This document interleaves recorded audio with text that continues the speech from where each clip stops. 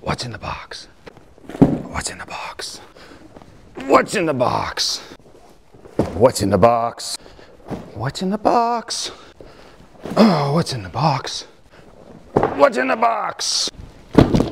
What's in the box? Thanks for tuning in and welcome back to the box. I mean, the shop. If you're new here, this is our 2013 Mitsubishi Fuso FG and we're turning it into an overland camper. If you're interested in more information on how we've been building this camper, check out the other videos on this channel. But for now, let's find out what's in the box. A couple of days ago, these boxes showed up on my front porch and I did not get a notification from Amazon that I'd received a delivery. And that can only mean one thing.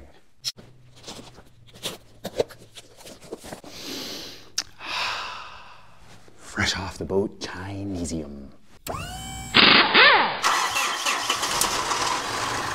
These are 320 amp hour lithium iron phosphate cells, and as you can see, I've got a bunch of them. I wanted to get these into my hands before I started building any of the structure that goes around them, so I'm really glad they're finally here because it would be really annoying to build all of the interior furniture and then find out that the battery size was off by just a little. Of course, I knew what size they were supposed to be, it's just not worth the risk of them showing up a little different. With so many buyers to choose from, it's kind of hard to know what you're actually gonna get. But so far, physically, they appear to be good.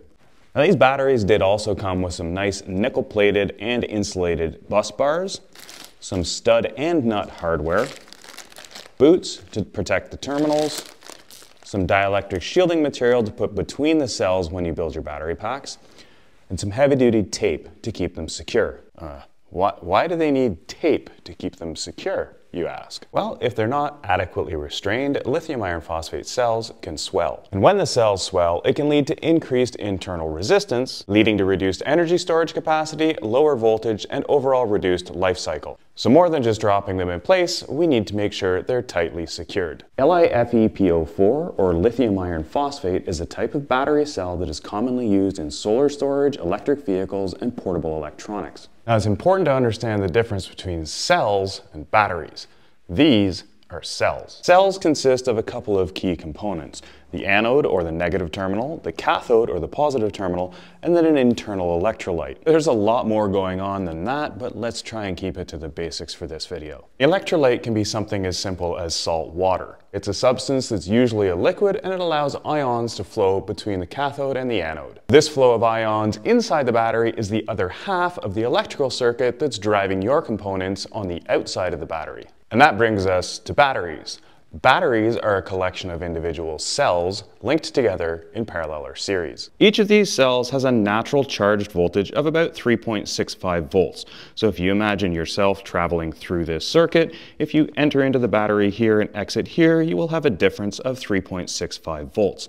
If we put four of these together and you have to travel through all of them, you now have 14.6 volts. Now, if we rearrange this circuit so that all of the negatives together and all of the positives are together, you don't need to travel through every single battery, you can just skip across. Therefore, we maintain the 3.65 volts, but the capacity increases.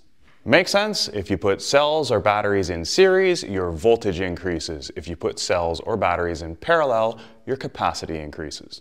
Now, a 3.2 volt battery with about 1000 amp hours isn't really going to be much use to us. So what we want to do first is put them in series and then put the series in parallel. And if I do it like this, I'll get 14.6 volts per row of batteries and a total battery capacity of about 960 amp hours. Yes, 960 amp hours or about 14 kilowatt hours.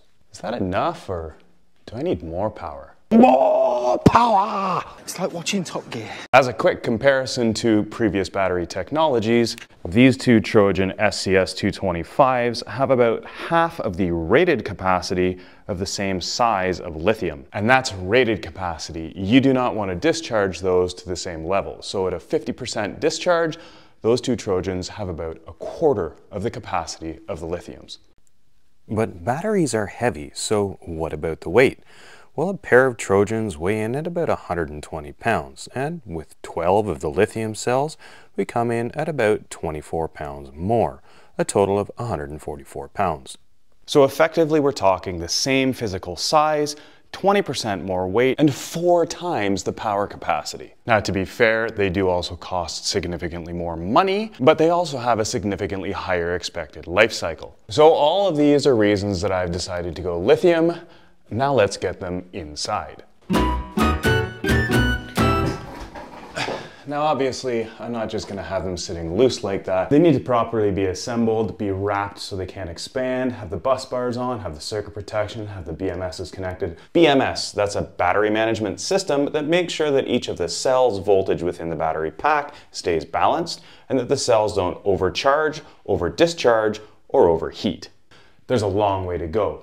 But now I can play with the configuration, whether I want four straight lines, if I want them standing or on their sides. Because once this floor section is built, I'm still gonna need to be able to access them to be able to check the connections, tighten the terminals, and make sure that the batteries are still in good condition. And the last decision, do I really wanna do 12 volts or do I wanna add more and go 24 or 48?